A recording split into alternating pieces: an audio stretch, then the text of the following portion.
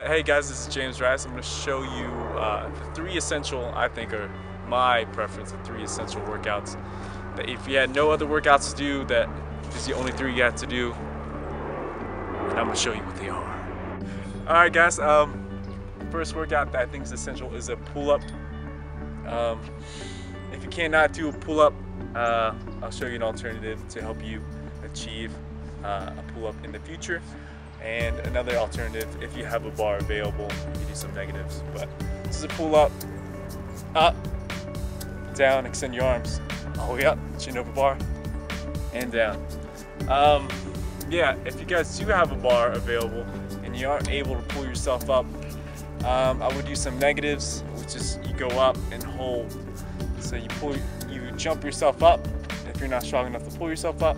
So you jump and then you just hold up here. And then you really focus and going slow on the way down.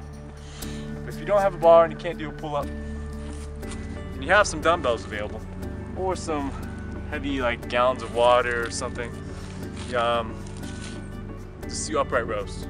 It's gonna really work those lats, shoulders, the biceps.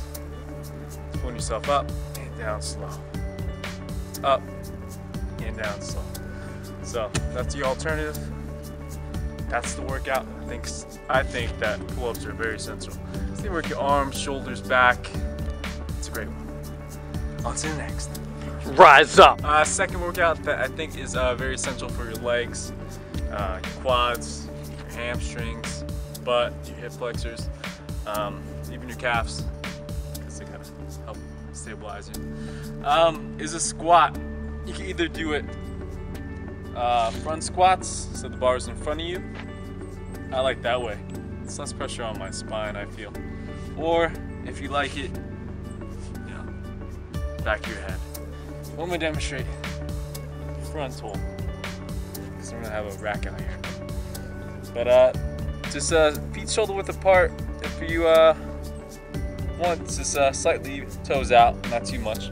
Let's really drop the butt and then back up. Drop your butt as low as you can and up.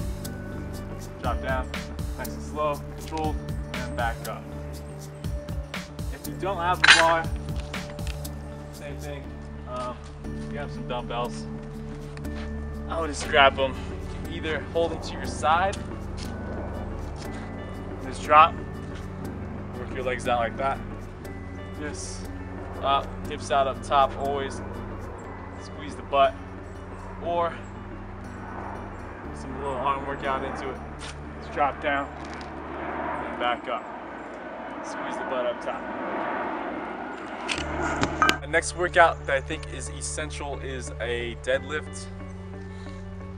If you have a bar, just throw on some weight. Grab the bar. I like to do a mixed grip when I do a deadlift. See, it's, uh, I think it's a uh, better grip wise. Have a better grip on the bar. It's really uh, drop down, back up. You want your uh, back to be neutral, and then drop up, and then squeeze up. Drop down, like picking up something off the ground. Hips out up top. Back again. Nice. Drop down, back up. Squeeze up top. Nice firm grip on the bar. If you don't have a bar, once again, and want to do it with dumbbells, this is the alternative. Hold the dumbbells in front of you, drop down, back up, or hold them to your side, hips up top.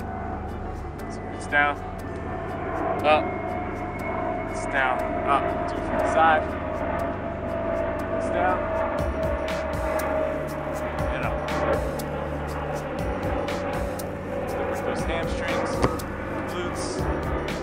back.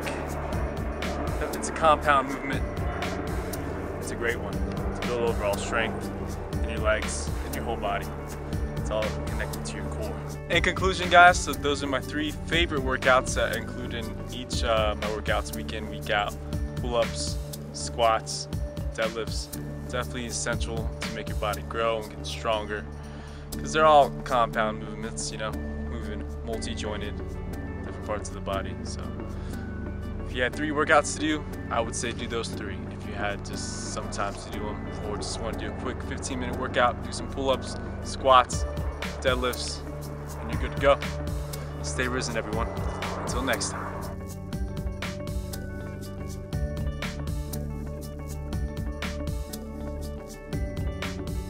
Recording. I'm ready, Lou. We're recording now. Recording again, Lou. Yay! Okay, Louie.